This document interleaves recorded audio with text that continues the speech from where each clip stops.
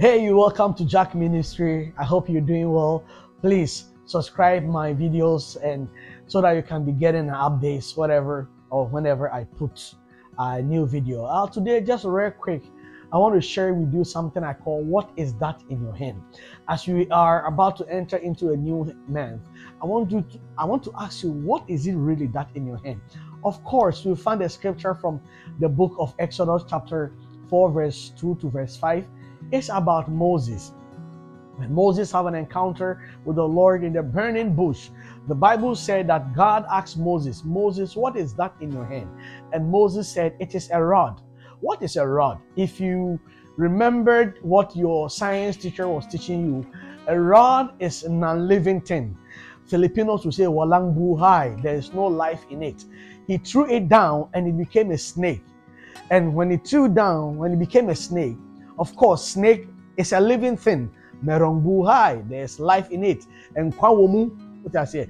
And so when he threw it down, that it became a snake, then it's a living thing.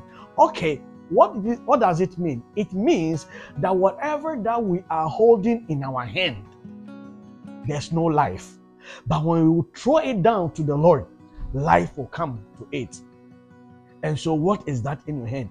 Now, real quick, the rod that Moses was holding represent three things. The same also, whatever you are holding represent three things. The first one, it represents Moses' identity. What is Moses' identity? The rod shows his identity as a shepherd.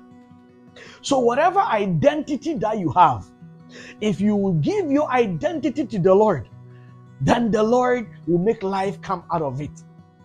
The second one represents Moses' income because as a shepherd, that is where he got his money or his income from. The same also that whatever income that you have, your finances, so long as you are holding onto your finances, I believe me, you, you are going nowhere. But when you will release it to the Lord, the Lord will make life come out of it. Then finally, it represents Moses' influence because it's the rod that he uses to control the sheep, right? Go here, stay here, move on.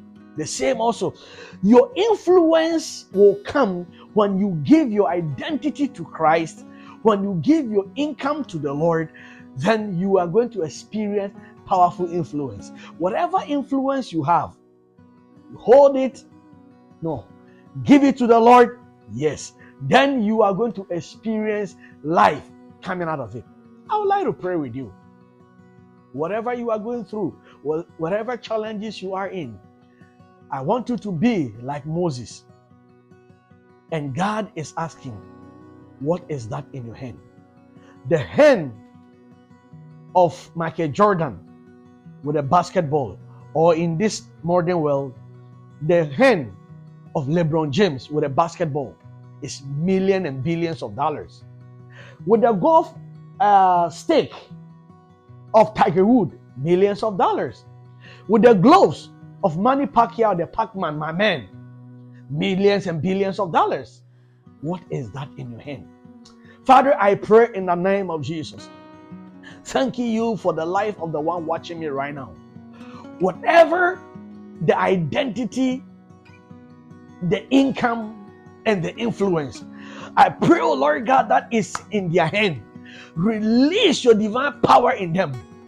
But I pray that they will release it unto you so that you can do so. In Jesus' name I pray. Amen. Thank you. Thank you very much for watching JAK Ministry. Please, as I said, subscribe it. And when you subscribe it, you can get our updates. New month is coming.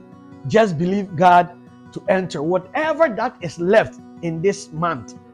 May you receive it. Remember, the month of September is a month of birthing. May you birth every blessing that you need. In Jesus' name. I love you. God bless you.